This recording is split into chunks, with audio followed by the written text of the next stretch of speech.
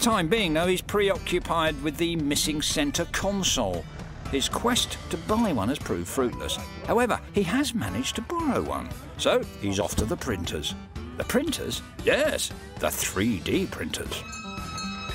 Right, what's the plan then? What do we do? We're going to scan this Right. with the Artec scanner. Okay. And that'll generate a 3D model of this part so that you can take it back Right. and put it back in the car and then we'll have that data stored forever. Fantastic. So that's the scanner then. This is the scanner, yeah.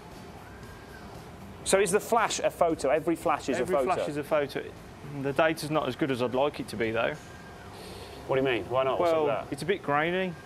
It'd be better if I just, um, you know, I just pop some of this spray paint? No, no, on. no. Whoa, whoa, whoa, whoa, whoa, whoa. What's, what, What's the matter? you can't. We can't. This isn't mine. It'll evaporate, calm down. So you put the paint on to allow it to capture the data. Right. Okay. So I can see that is a pretty sharp image now. So yeah, so that's much better.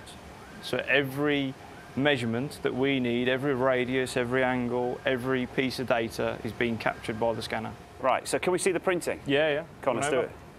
So we send it straight over to the PC, straight through the network. So if I just import it, so this is the build volume that we've got to work with, and Right. I'll just see if it fits, which it does. So there we go. Oh my word! That is just so weird. It looks so clean as well. Um, yeah, This is instant, and you can start that thing printing straight away. Pretty much, yep. So I'll just check that the build layers look right. The peach indicate where we're going to support it, so we don't want it to fall over and we don't want any material uh, delaminating. Hang on. Right. So what do you mean support it? In what way? So we're just making sure that any overhangs are supported, so that when we're building it, we've got something there to help it, and then we can get rid of that support material afterwards. Yeah. It's not just me that's massively impressed by this. I mean, surely this is mind blowing, isn't it? I mean, So I'll press print. So I'll Yeah. press that now, and that's going to send the data over to this printer.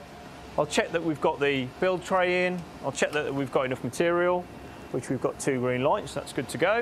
And then we can just press build. So away we go. Instead of ink, a 3D printer uses liquid plastic, slowly, layer by layer, building up an exact clone of your scanned original.